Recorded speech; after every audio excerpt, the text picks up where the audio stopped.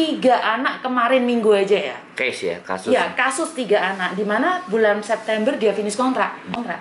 Tapi kemarin hari Minggu di interminate.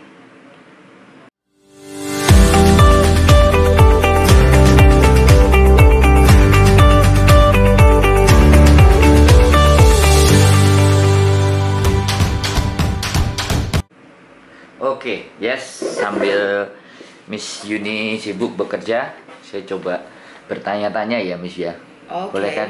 Boleh, boleh, Uh-uh, boleh. Karena saya kepingin eh, dapat info-info, tapi Miss Yuninya sibuk banget, makanya kita coba dapat gali di sela-sela pekerjaannya Miss Yuni.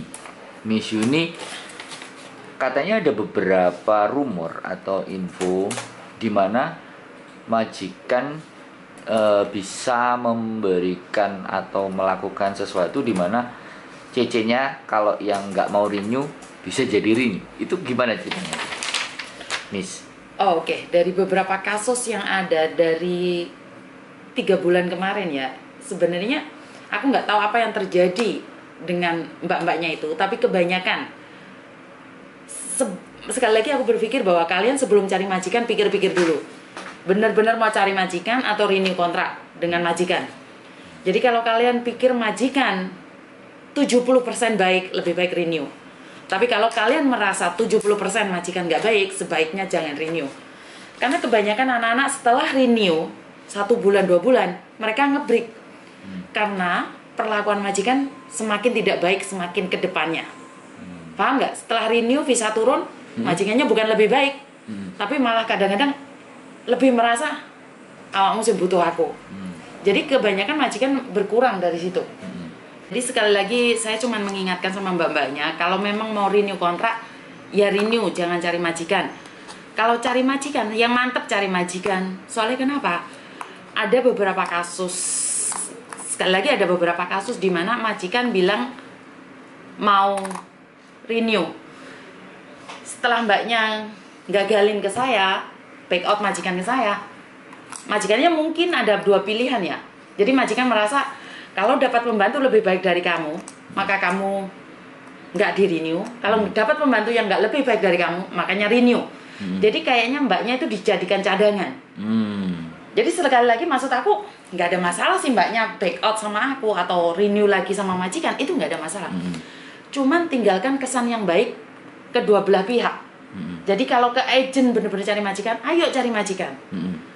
Dan jangan ninggalin yang jelek ke majikan. Hmm. Karena ada tiga anak kemarin minggu aja ya. Case ya, kasus. Ya, kasus tiga anak di mana bulan September dia finish kontrak. Dan untuk sementara untuk finish kontrak bulan September kontraknya datanya udah aku siapin tinggal nunggu data. Tinggal aku klik sama konsulat, datanya masuk semua, tinggal tunggu satu klik aja. Tinggal nunggu enam hari lagi. Hmm. Status dia sebagai finish kontrak. Tapi kemarin hari Minggu di interminate. Padahal kurang dua bulan. Dalam perhitungan imigrasi, dinyatakan finish kontrak adalah 42 hari. Sebelum hari terakhir di paspor. Paspor. Oh. Visa di paspor. Jadi ingat nah, kalau kalian hitung 42 hari, kalian boleh ngomong sama majikan nggak renew. Tapi kalau kalian masih kurang dua bulan, jangan sesekali menyakiti atau apa pun itu namanya. Karena di hitungan 43 hari kamu dikeluarkan sama majikan, kamu di interminate. Walaupun beda satu hari ya, Oh, iya. bukan 24 jam loh. benar. Penting. Beda penting. 12 hari aja, 12 jam aja. Kamu di interminate. Jadi sekali lagi mbaknya hati-hati di sini yang anak-anak pemahamannya yang kurang. Wah, di sini bagus. pemahamannya yang kurang. Jadi harus kayak gimana ini Miss? Jadi untuk mereka agar supaya itu tadi ya jaga ke jaga situasi dan Harga keadaan. harmonisan sama ma- sama majikan di rumah majikan. Kenapa? Karena kita nggak tahu apa yang terjadi. Sekali lagi kita bukan orang Cina, mungkin pikiran kita yang oh Jaga-jaga sama waspada kan boleh tuh. Iya, kenapa tidak? Maka dari itu aku selalu bilang jangan terlalu percaya dengan orang baik karena orang baik pasti ada maksudnya. Hmm. Seseorang kadang-kadang gini loh, Benar.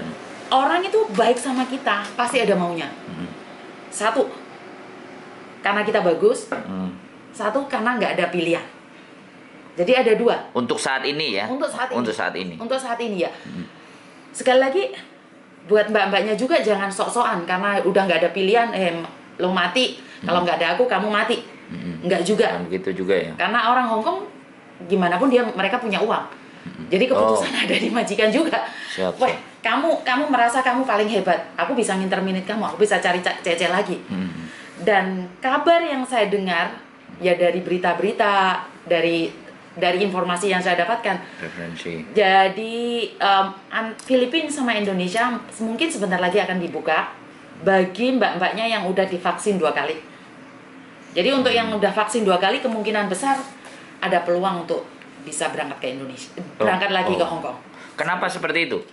Eh, Kira-kira ada ada alasan apa? Kenapa kok Hong Kong eh, membawa atau memperbolehkan mereka lagi? Kira-kira Itu karena Logika. sekali lagi kan how demand-nya banyak banget di Hong Kong. permintaannya ya? Permintaannya banyak banget dari Ser- seluruh masyarakat Hong Kong. Otomatis mereka punya organisasi atau asosiasi juga di mana mereka mengeluh Oh, sekarang kan di luar rata-rata minta yang 7.000, 8.000. Tapi masalahnya kan kualitasnya Oh. mbak-mbaknya itu mampu nggak dengan 8.000? Kalau secara pribadi, kalau kita nggak mampu, kita nggak akan meraih 8.000 kan? Mm. Karena seperti orang bilang, lo jual gue beli.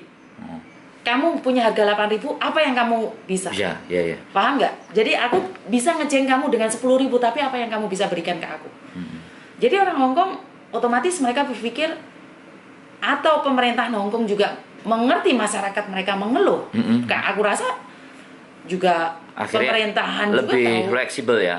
lebih fleksibel dan Ah. kenyataannya mereka menyatakan bahwa kemungkinan besar akan dibuka lagi dari dari pihak pihaknya Hong Kong untuk Indonesia dan Filipina. Jadi kita masih belum tahu tunggu informasi ke depannya lagi. Ya, tapi setidaknya ini adalah eh, isu di mana isu isu yang kuat yang terjadi saat ini ya. Otomatis orang-orang agent juga berpikir mempersiapkan ABCD bla bla bla bla yang dari Indonesia atau bagaimana kira-kira?